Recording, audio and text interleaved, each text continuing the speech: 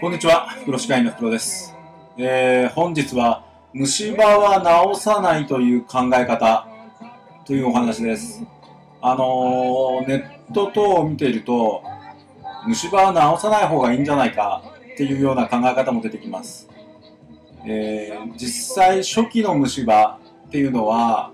今、治さないというか、あまり手をつけないという考え方も、えー、実際ありますし、私どもも、あのー手をつけない方向にはあります。ただ、本当に初期の虫歯っていうのが皆様がわかるのか、その辺についてはかなり疑問が残るところですので、えー今日はそういった話題についてお話ししていこうと思います。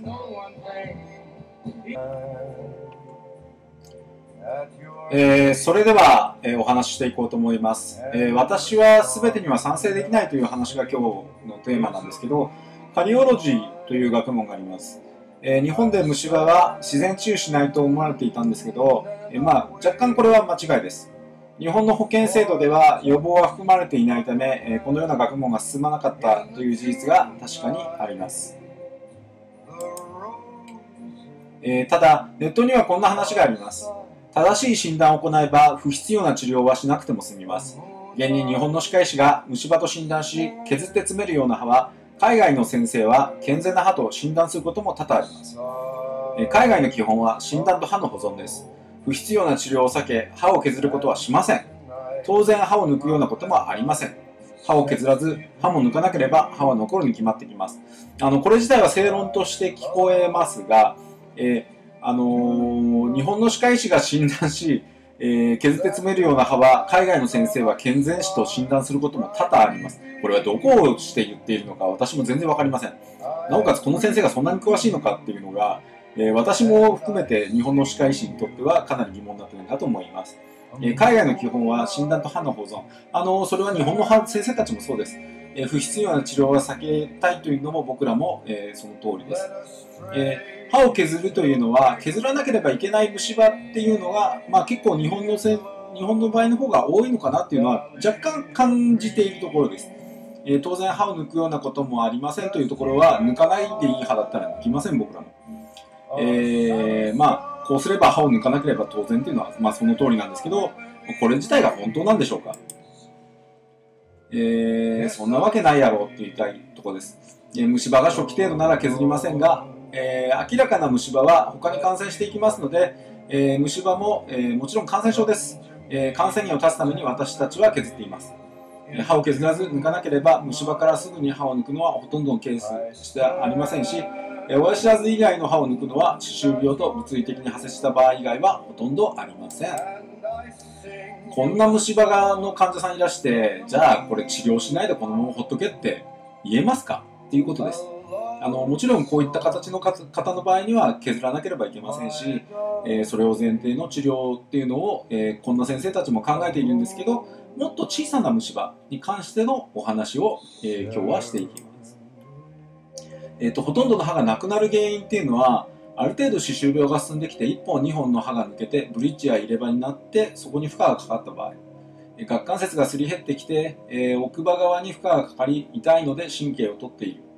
えーそうするとまたさらに負荷がかかり歯根が割れる、まあ、こういったケースですよね、えー抜歯それによって残りの歯にさらに負荷がかかる。歯周病があればさらにスピードが速くなって抜歯になる、ほぼダメになる原因は物理的な要因が大きいと私は思っています、まあ歯がこうやって抜けていくケース。まあ、もちろん歯周病っていうのはあるんですけど、えー虫歯だけを原発として、歯を抜くというケースはなかなか、えー少ないかなというふうに思っています。では治そう虫歯って話はどこから来てるんでしょうか、えー修復できる初期虫歯とは、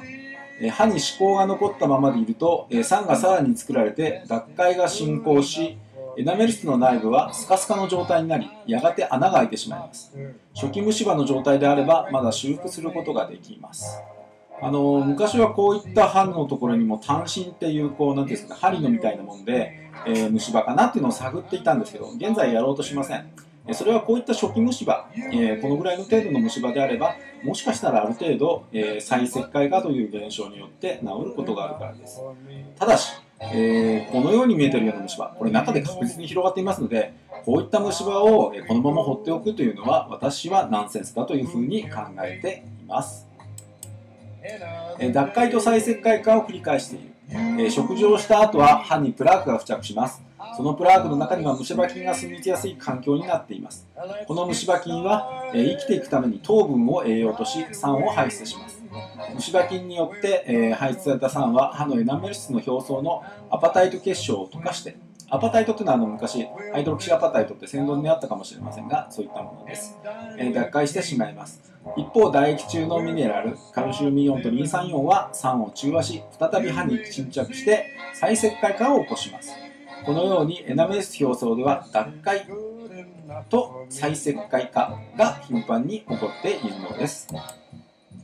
えー、歯は修復されてるんですね。こういった形のところのところに虫歯があったとしても初期虫歯は、えー、まあ20日もすれば、えー、治ってきてしまうというのが現象です。こう一旦表層が溶けてもですね治ってきてしまいます、えー、再石灰化はあくまでただ表層で起こっているという現象です。え再石灰化はフッ素でさらに強化されます毎日の歯磨きで使っている歯磨きの多く90%以上にはこの再石灰化を促進するフッ素という成分が含まれていますフッ素は細菌の活動を抑えること、溶けたエナメル質の修復、脂質の強化など虫歯予防に効果的な成分です。フッ素配合歯磨き剤を毎日使って初期虫歯を、修復しましょう。まあ、使いすぎるのは細胞毒性もあって良くないと思いますが、ある程度このフッ素によって、ええー、再石灰化は強化されています。ただ、穴が開いたり痛みを感じたらすぐに歯科医院へいらしてください。えさらに脱灰が進行してエナメル質に小さな穴が開いてしまった状態が虫歯です。放置するとそこから象牙質、神経と内部へどんどん進行してやがて痛みも激しくなります。虫歯かなと思ったら早めに歯科医院に行くことをお勧めしています。